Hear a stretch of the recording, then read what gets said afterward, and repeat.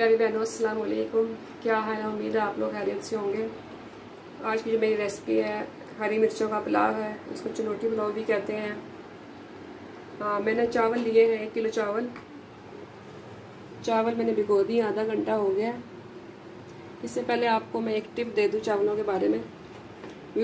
जब कभी आपके अचानक मेहमान आ जाए, आपको चावल पकाने पड़ जाए, फ़ौरन चावल पकाने हैं तो आप चावलों में एक चम्मच भर के नमक ही डाल दें। अगर एक किलो चावल है तो टू टेबल स्पून नमक भर के आप इसमें डाल दें अच्छी तरह मिक्स कर दें और साथ ही चावलों का मसाला रख दें। आप यकीन जाने चावल ऐसे बनेंगे जैसे आपने चावल एक घंटे पहले भिगो के रखे हुए हैं। अच्छा अब आ जाए रेसिपी की तरफ़। एक किलो चावल लिए है मैंने। आधा किलो से कुछ ज़्यादा चिकन है ये और सूखा धनिया two tablespoon one and half salt है टू टेबल स्पून लहसुन अदरक है और ये गरम मसाला है। और मैंने इसमें एक, ये बागबान का फूल लिया है, एक, सिर्फ़ एक, इसका फ्लेवर बहुत स्ट्रॉन्ग होता है। ये मैं एक ही डालूँगी। बाकी ये वन एंड हाफ़ सारा गरम मसाला है। तो बेसिकली ये हरी मिर्चों में बनेगा तो इसमें मैंने हरी मिर्चों का इस्तेमाल ज़्यादा किया है। इसमें मैंने तकरीबन एक पाव हरी मिर्चें ली हैं, और ये वाली मिर्चें व्यूर्स देखें, ये तेज़ नहीं होती इतनी। जो छोटी वाली मिर्च होती है, वो बहुत तेज़ होती है। ये देखें, ये मिर्चें इतनी तेज़ नहीं होती ये टोटल मैंने एक एक पाव के करीब लिए मिर्चें। दो दो मैंने टमाटर लिए बड़े साइज़ के। एक बड़ा प्याज लिया है मैंने और आलू बुखारा मैंने लिया है। ये मैंने तकरीबन, अगर आपको पसंद है तो आप ज़्यादा भी डाल सकते हैं। ये मैंने पचास ग्राम पचास ग्राम के करीब लिया है। इसको मैंने भिगो दिया और कुछ मिर्चें मैंने, ये देखें, हरी मिर्चें मैंने पेस्ट कर ली हैं। ये मैं मुर्गी भूनते और डालूँगी।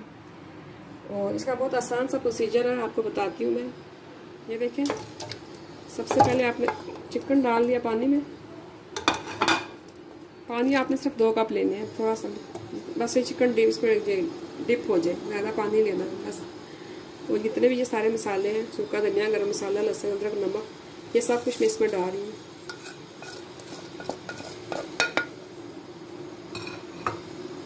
टमाटर और हरी मिर्चें, ये भी मैं इसी में डाल रही हूँ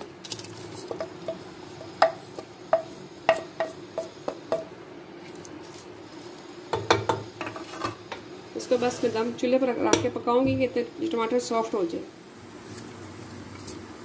व्यूर्स देखें, ये मैं इसमें इतना सा पानी डाला है ये मैंने बस ये चिकन इसमें डूब दिए बस, ज़्यादा पानी नहीं डालना। आपने इसी पानी को इसी में खुशक करना है। अब मैं इसको दम लगा रही हूँ।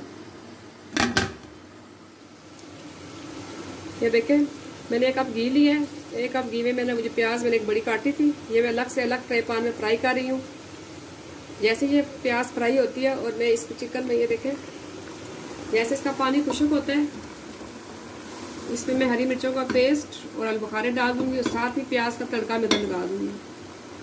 इसका थोड़ा सा पानी अभी है, जैसे थोड़ा सा पानी खुशक होता है और प्याज फ्राई होता है ये वाला। ये प्याज मैं अलग से फ्राई कर रही हूँ।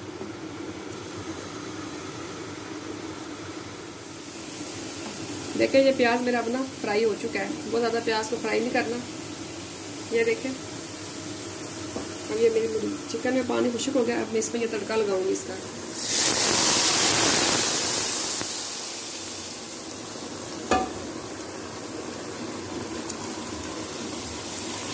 अब इसमें मैं हरी मिर्चों का पेस्ट डालूँगी।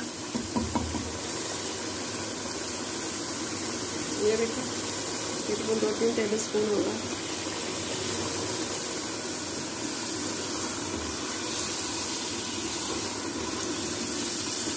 थोड़ा सा इसको भूनूँगी मैं।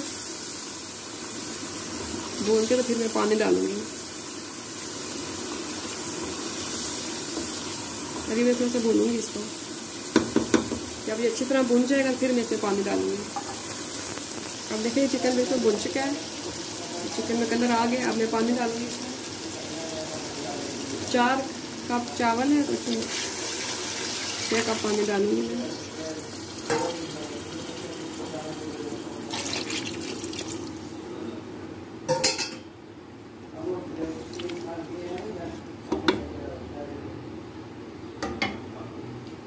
अब इसमें मैं ये आलू बुखारे जो मैंने पानी में भिगो के रखे थे। ये 25 ग्राम आलू बुखारे ये इसमें मैं डाल रही हूँ।